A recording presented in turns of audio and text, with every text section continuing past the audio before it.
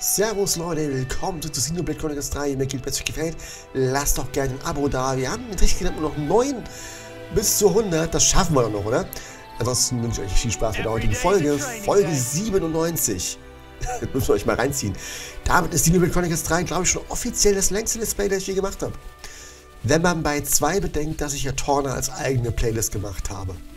Ansonsten zusammengenommen dürfte der New Game Plus Story Run und Torna noch länger sein. Ähm, das dürfte knapp über die 100 Folgen dann haben. Ach du Scheiße. Okay, neue Quests hier drüben. Emma möchte es gerne sehr, mochte es gerne sehr sauber und ordentlich. Wir haben uns immer ausgeschimpft, wenn wir benutztes Werkzeug haben rumliegen lassen oder so. Als ich gesehen habe, wie ordentlich ihr Versteck war, hat mich das wieder total daran erinnert, wie sie war. Schluchz. Ich gehe gleich zum I. Ich will nur die erstmal anquatschen. Gut gemacht, allesamt. Hä? Hätte es ein Problem? Oh, Entschuldigung, wir hatten uns nur Sorgen nicht gemacht, aber es geht ihr offenbar ganz gut. Ja, kein Problem, ihr sollt euch eher um Nico Sorgen machen. Ich habe sie vorhin erwischt, wie sie sehr geweint hat. Alle sind in einer Art Schockzustand. Ich will für sie da sein und sie wissen lassen, dass ich unterstütze.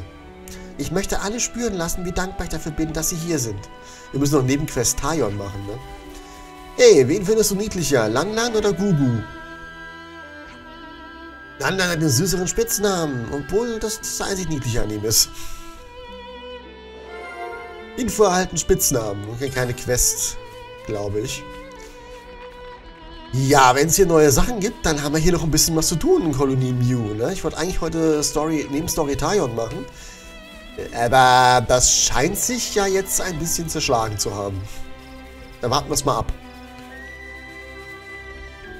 Gehen erstmal nach... Ich wollte links eigentlich gehen, wir erstmal nach rechts. Oh, Hallo Lotus. Hier in der Kolonie versuchen wir immer ehrlich zueinander zu sein und nicht hinterm Berg zu halten. Aber Irma, sie hat ständig das Thema gewechselt und uns nie gesagt, was sie wirklich denkt.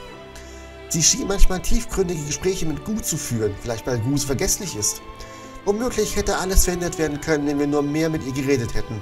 Dann wiederum vielleicht nicht. Ach, jetzt habe ich Lust bekommen, Gu zu knuddeln. Würde mich so viel besser fühlen, wenn ich sie jetzt drücken könnte. Oh, so that's how they're doing.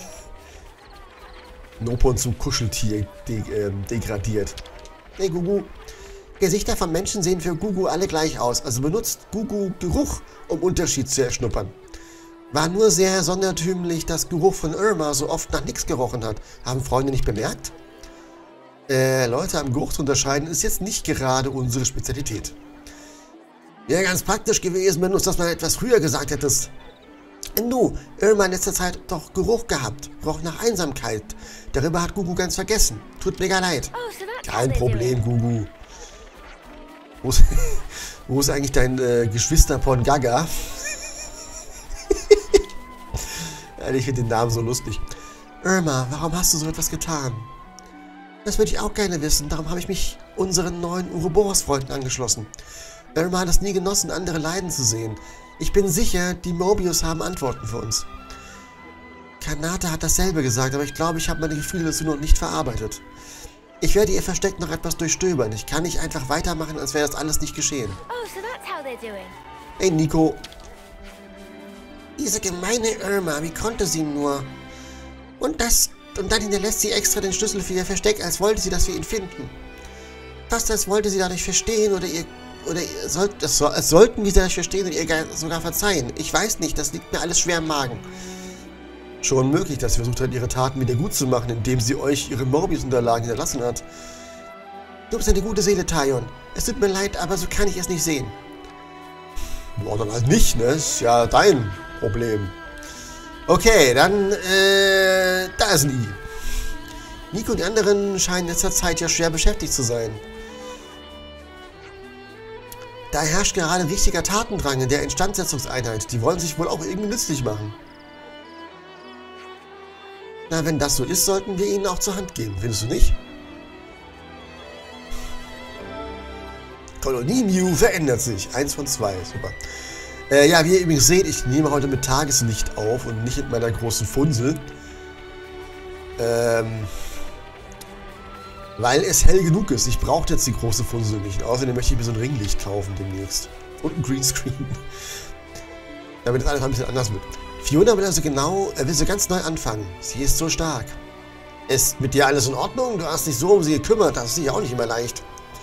Ich kann nicht anders, als darüber nachzudenken, was alles hätte besser laufen können. Und ich glaube, ich habe oft die Schuld bei anderen gesucht, wenn etwas nicht so lief, wie es wollte, ich sollte. Aber ich habe schließlich auch einen Teil der Verantwortung, also gebe ich mein Bestes, damit wir neu anfangen können. Sehr gut. Wo ist das andere I hier? Da fällt mir ein, ich muss noch nachgucken, wo es die andere Info für den Nebel gibt. Okay, wenn du mir jetzt sagst, ich muss zum Dings zurücklaufen, zum Feld, krieg ich ein bisschen die Krise. Äh, ich fürchte aber fast, das ist so. Wenn wir das zweite I haben wollen für die Quest. Das ist 100 Pro eine Quest. Im Neuanfang. Dass wir dann auch unterstützen und irgendwas für die Kolonie Mew machen. Was aber okay ist, wenn wir dadurch den vierten Stern bekommen. Weil unser Ziel ist ja nicht, die Kolonien alle auf 5 Sterne zu bringen, sondern so weit wie möglich zu bringen. Darf man ja nicht vergessen. Wir sind gut dabei. Mein Kolonie 4 ist fast auf den fünften Stern. Die Frage ist aber, was müssen wir dann tun, um den fünften zu bekommen? Was gibt's? Ach, da hinten ist jetzt das andere. Die ganze Sache mit Irma war echt ein Schock, aber wir sollten uns davon nicht herunterziehen lassen. Ich wünschte, wir könnten Fiona eine größere Hilfe sein. Sie hat es von uns allen am schwersten. Du sagst es, es ist an der Zeit, dass wir auch stärker und zuverlässiger werden. Kolonie Mew verändert sich 2 von 2. Gut, dann können wir jetzt zum Rastpunkt gehen und ein bisschen labern zur Kantine. Annette Klärchen, Wunderbärchen. So. Besprechen. Spitznamen. Hey, so can we talk? Hey, Landan. Nenn mich bitte nie wieder so. Warum denn Landan? Klingt doch gut, Landan. Alles klar, dann heißt du aber ab sofort auch nur noch Oin Oin. Das klingt aber im Vergleich nicht so gut wie Landan, Landan. Ich wäre dann Lolo? Und ich Sensen? Äh, Miu Miu? Ihr klingt wie ein Haufen Singvögel. Das geht alles nicht so gut von der Zunge wie Lanlan. Und wie willst du heißen, Taion? Ähm, Tai Tai? On On? Taion? Yep, das klingt am besten. Wie schön, denn so heiße ich ja auch. tai Tai. A Agumon? Ich habe mir ja eine Zeit lang ganz schön Sorgen gemacht. Aber die Stimmung in Kolonie Miu hat sich echt verbessert, findet ihr nicht auch? Definitiv. Es scheint, als hätten alle gemeinsam beschlossen, die Verantwortung etwas mehr untereinander aufzuteilen. Ich bin so froh, dass sich letzten Endes doch noch alles zum Guten gewendet hat.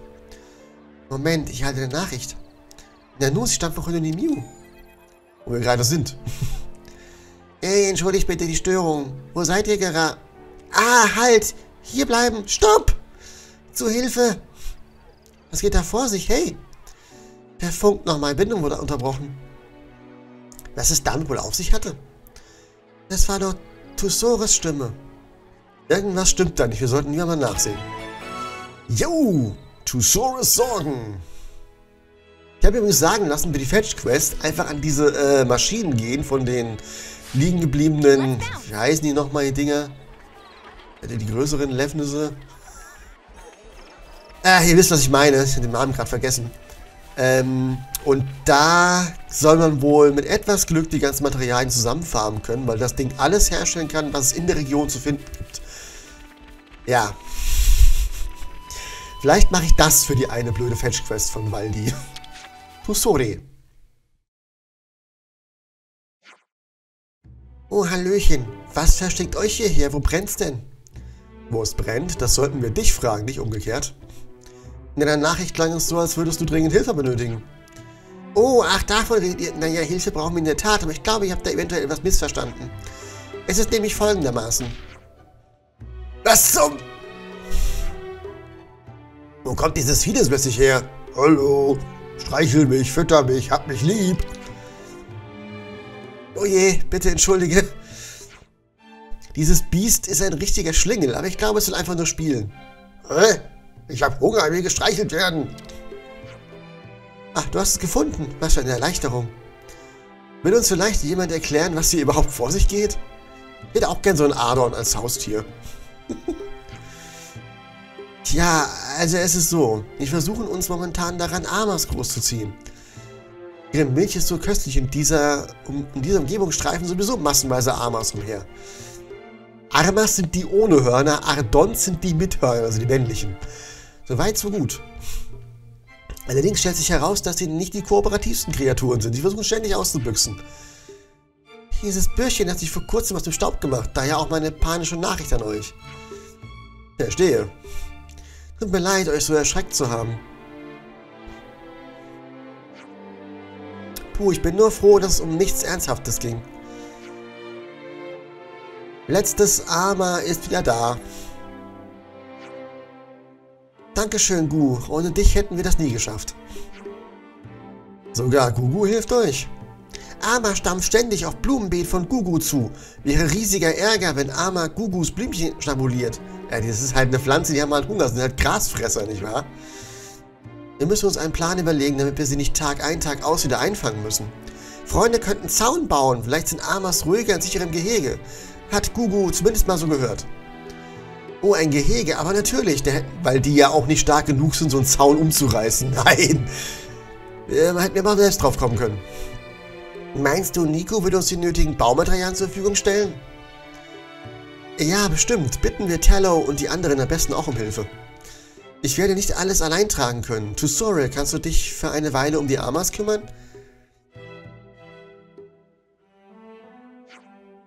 Es klingt, als wüsstest du, wovon du sprichst, Gugu. Darf ich fragen, wo du so viel über Amas gelernt hast? Gugu hat ein Buch gelesen, aber Details sind Gugu entfallen. Also äh, gibt es so etwas wie ein Ama-Fachbuch?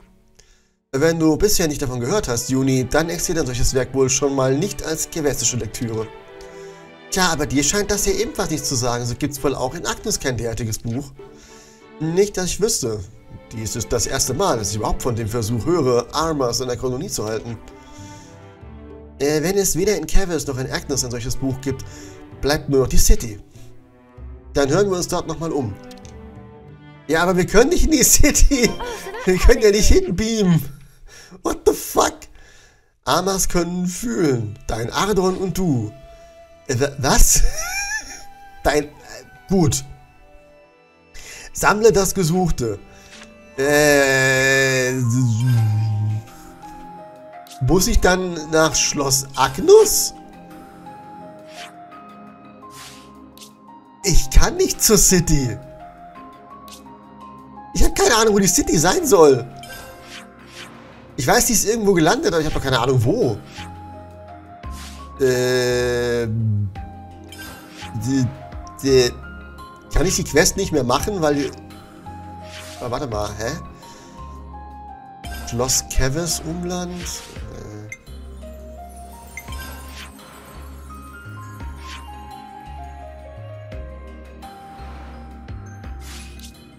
Äh. Ist es hier irgendwo vielleicht dann? Oder muss ich jetzt eigentlich erstmal weitergehen in irgendein anderes Gebiet? Weil hier ist ja, hier geht's ja irgendwo lang.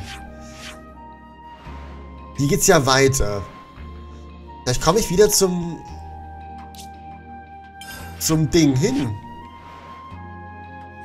Ich komme doch irgendwo zum Moor, ne?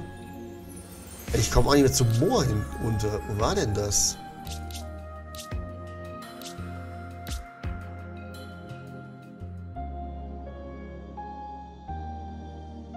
Ja, ich bin gerade ein bisschen überfragt, wie ich hier weiterkomme.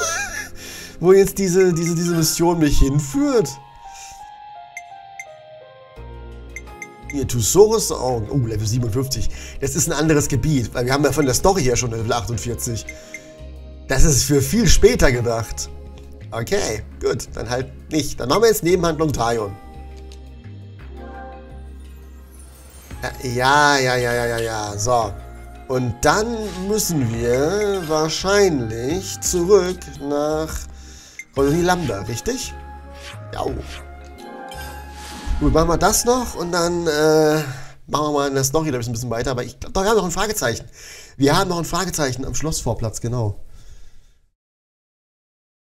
Darf ich nicht vergessen. Ich habe es gerade wieder gesehen. Was? Von Ultra Plan 8 Creator Apps.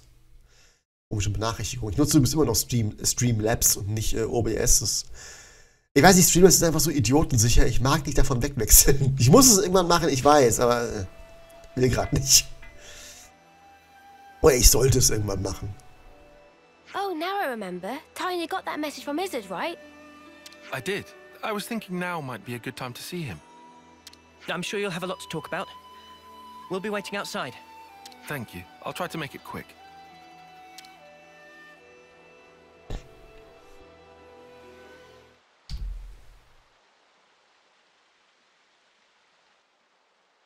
What's this?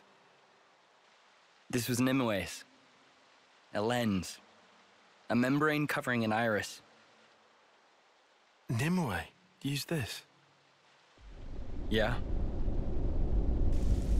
It must have been five years ago. It was on an expedition to the Cadencia frontier. However, Kefesi troops attacked at night. My squad was crushed. And I was hurt bad.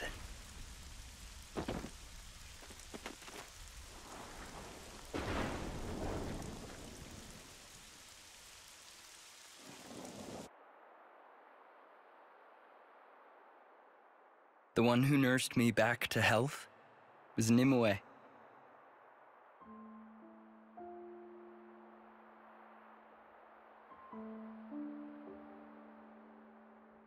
Theirs was a curious colony. No one ever fought. They'd spend their days tending Sophronias. There used to be a castle there at one time.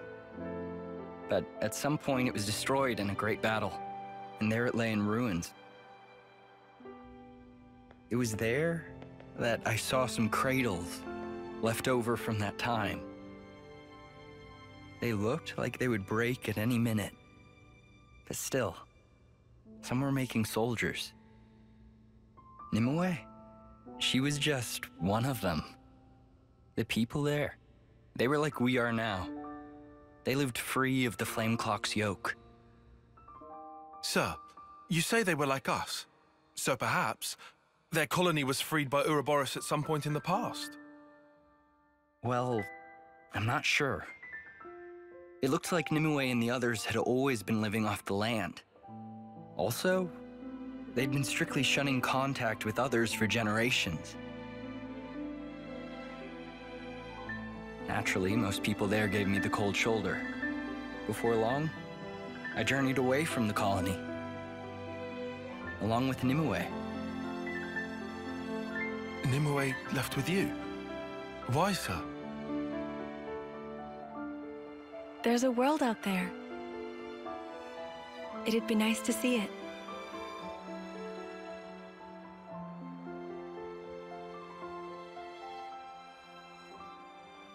I wondered at her motivations, but I think I see now.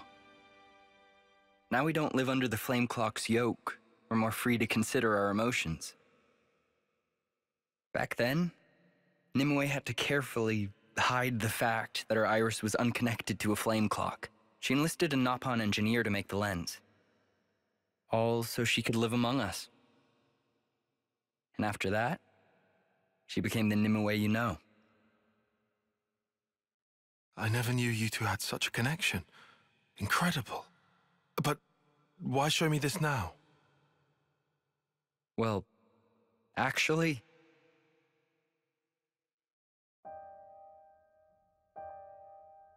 What? The leadership want Nimue's colony wiped out? yeah. We only just heard. A Nopon merchant was able to tip us off. And since Nopon are involved in handling most logistics and transportation, the information should be good. So the brass have pinpointed its location. Could be.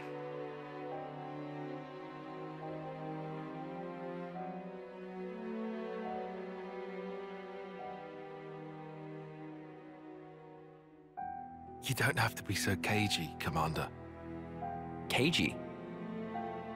You can tell it to me straight. Am I wrong? You'd like us to keep Nimue's colony safe? But Isn't that the reason? Why you've told me this whole story? If you moved to protect the colony, it'd put this place in the line of fire. I've heard. Like how, after the consul's disappearance and the loss of the flame clock, despite sending a report to HQ, you haven't received a word of reply. Hmm. we reported that it all happened while we lay there unconscious, which is the unvarnished truth. Yet still nothing. I understand. Let me run it past the others, Commander.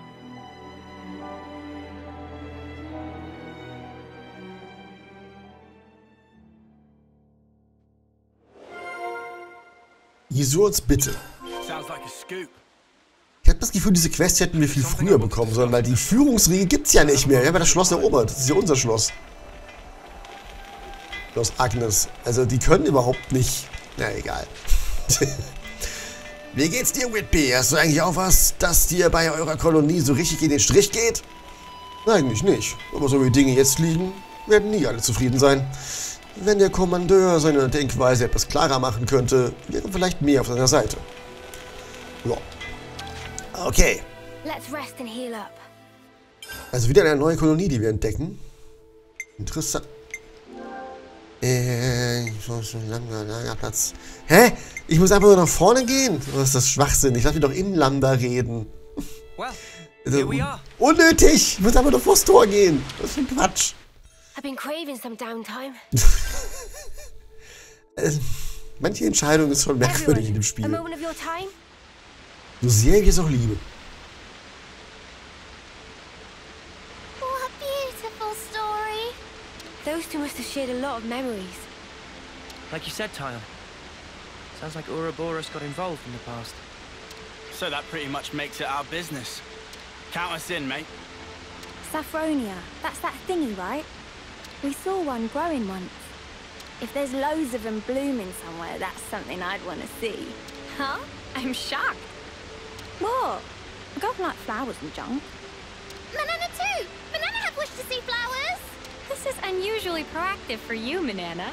Why so? Ladies and flowers are like peas of same pod! No idea what Manana talk about. But someone have to keep Manana out of trouble. That okay with friend Tyon? Sure. Thank you, everyone. Okay. Äh. Das ist dein Ernst? Ich darf jetzt wieder zurückrennen zu Isurt. Äh. Aber ganz ehrlich, warum muss ich unbedingt da rausrennen, das Lagerfeuer gehen? Warum kann ich nicht hier in der Kantine das besprechen? Das, das, das macht keinen Sinn. Das ist doch dämlich. Nee, nee, nee. So, hi Isurt. Kommen wir wieder ab. So. Thanks. I'm sorry to involve you in this. Don't worry. We all agree that this is something we should do. It's a while since we first got thrown together. We're used to this by now. And, you know, we want to see Sophronia's. It was me. I'm the one who threw Nimue's life into chaos. I should have just left her where she was. Commander. Tyon, Sir? if Nimue's been reborn, if she's in that colony, keep her safe by any means. This time, I want her to follow the path she was meant to tread. Yes, sir. I promise. Okay. Ups. Und tschüss. Why doesn't the commander just come along? He's got no choice, right? He might get the attention of the castle or something. Das kann er ja gar nicht. Wir haben das Schloss noch längst erobert. Monolith, daran hättet ihr denken können. Oh, guess so. That's not all, I think. Hmm? I'm sure he must be scared.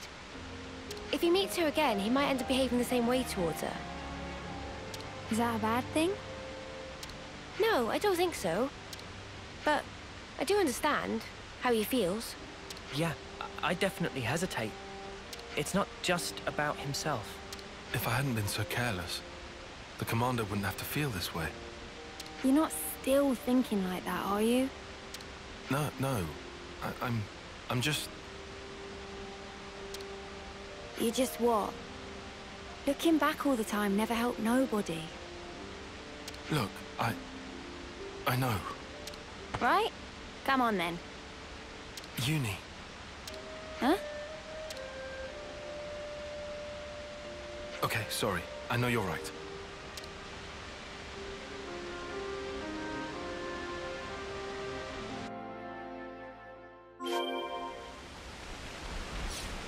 So, wir müssen nach Cadensia. Alles klar. Cade. Cadensia. Hm? Ähm. Gut, ich brauche erstmal unser Boot irgendwo hier.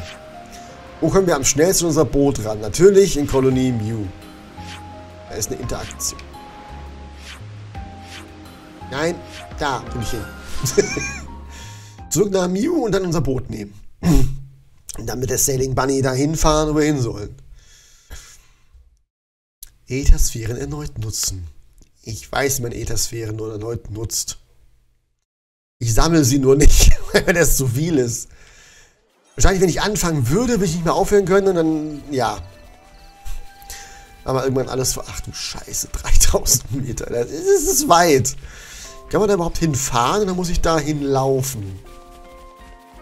Ja, da ist das Fragezeichen irgendwo. Ich weiß, beim Schloss. Müsste das vom Schloss sein, ne? Nee, warte mal. Da ist ein Fragezeichen. Da ist ein Fragezeichen. Warum ist da ein Fragezeichen? Okay. Ich sehe schon, wir haben hier ein bisschen was zu tun. Auf dem Ozean. ist aber gar nicht so schlimm. Jetzt fahren wir erstmal da hinten hin. Wenn wir da hinfahren können. Das ist immer noch die spannende Frage. Das sieht nicht so aus, als könnten wir von hier aus dahin düsen. Wir müssen auf die andere Seite von diesem Gebirgszug hier.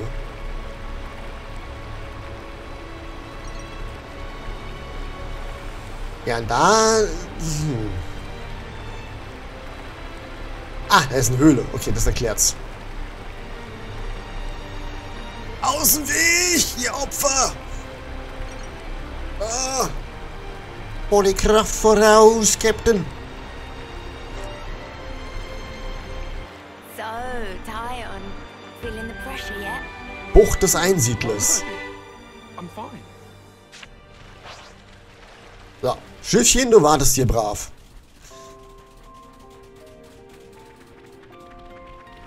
Das ist aber nicht sehr versteckt. Der vorne ist so heißen Dinger, genau, jetzt muss wieder. Haha. Ah nee, warte. Das ist kein, das ist ein Lefnis. There's a Feronis here. Feronis. Das ist doch ein Feronis, okay. Looks like it's trying to clear away the earth. No sneaking through with this big thing in the way. I think we found the enemy force the commander mentioned.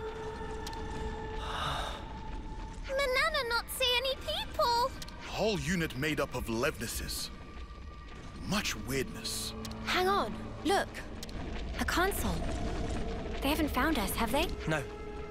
I don't think they've spotted us just yet. This one might have different abilities than that K guy. Guess that's a thing. But why have only Levnesses?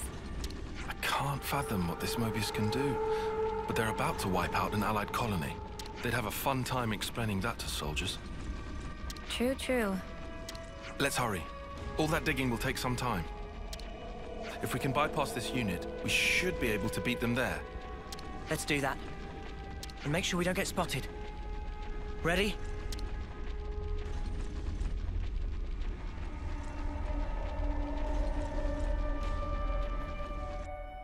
Better give it a good one. Aber erst in der nächsten Folge, Leute. This way. In dem Sinne, vielen Dank fürs dabei Macht's nicht gut, macht's besser. Euer Schraubsel. Ciao.